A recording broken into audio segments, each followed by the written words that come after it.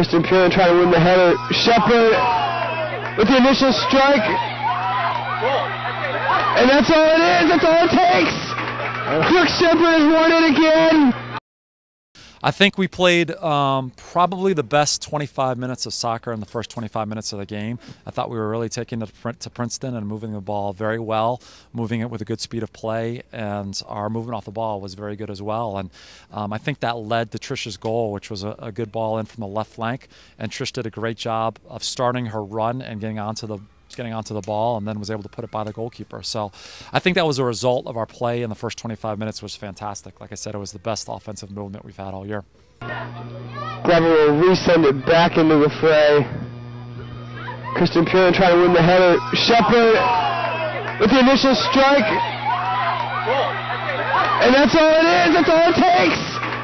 Brooke Sheppard has won it again. Yeah, I mean, it was just great effort by our team. Uh, great job of moving the ball and not giving up um, when we uh, were able to knock the ball into the final third. And uh, Brooke Sheppard, like she's done all year, has made some great runs in behind the back line, and she did on that one. And then hit a great ball that the goalkeeper made a good save on. But fortunately for us, it um, you know continued on into the goal. So it was it was a great goal.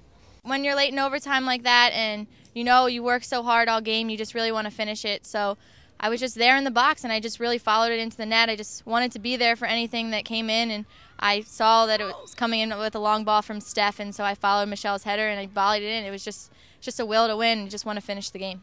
I said it before that um, Lindsey has the ability to come up with some huge saves in games. She's done it before. She's done it last year and um, the save she made at the end of the game was uh, it changed the game. Um, she was one versus one with a player, and that was a huge save, and um, very easily could have been a goal against us, and the game could have been over. But she came up big when she had to, and she's done that before, so it was fantastic.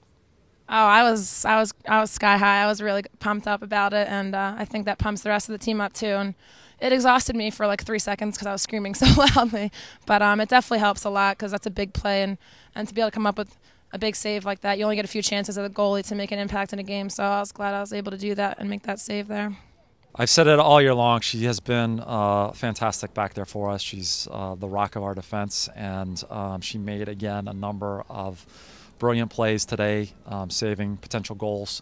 Um, she was really all over the place. So uh, she was just great for us once again, and she's been great all year it's a number that's not fun to think about.